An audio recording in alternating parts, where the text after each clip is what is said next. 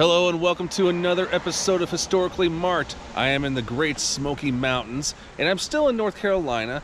And um, unfortunately, I mean, it just, I mean, it just stopped raining. That's the that's the great part. But now it's going to be all foggy. So in other words, we can't really see the mountains.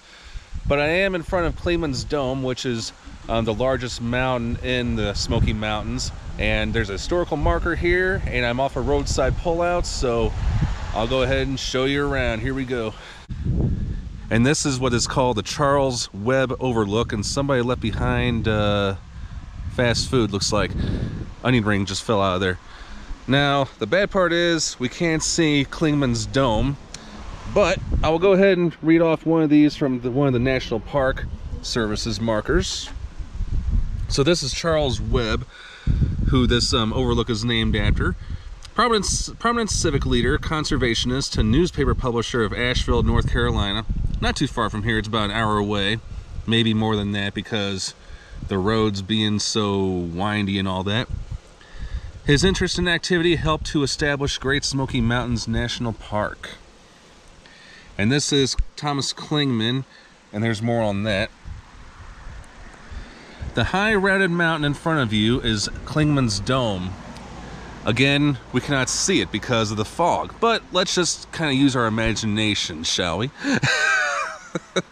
there is another road that about seven miles um, out of the way that takes you to the um, another part of Clingman's Dome, but I'm thinking it's probably going to be the same thing. But again, let's just play a little pretend game. All right, so it is the highest mountain in Great Smoky Mountains National Park, the highest in Tennessee, and the third highest in the eastern United States. It bears the name of Thomas Lanier Clingman, explorer, politician, and Civil War general who measured mountains here in the mid 1800s. Wow, very impressive. Okay, they used barometers considered crude by today's standards. They used the instruments to measure atmospheric pressure at the mountain summits. And then some more on that. And then mathematical formulas, air temperature, humidity, latitude, and other variables. The scientists calculate a mountain's elevation. As you explore the park, you might notice that the highest peaks bear their name, bear these names. Well, duh. Lastly, on the bottom, it talks about um, the top six eastern peaks. Now, New Hampshire's Mount Washington is the 17th highest peak in the east. But here's those just in North Carolina and Tennessee.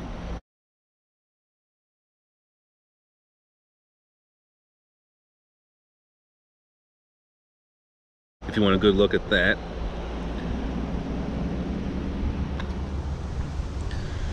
But right now, I mean, mountains are nowhere to be found back home in uh, the St. Louis area, but right now I'm just appreciating the scenery, even though I can't really see half of it, but I'm cool.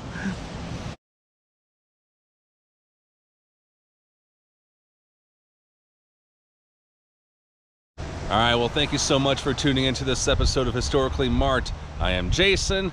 Um, behind me is Clingman's Dome, and I am in North Carolina, not too far from the Tennessee border in the Great Smoky Mountains National Park. This is Historically Marked, signing off.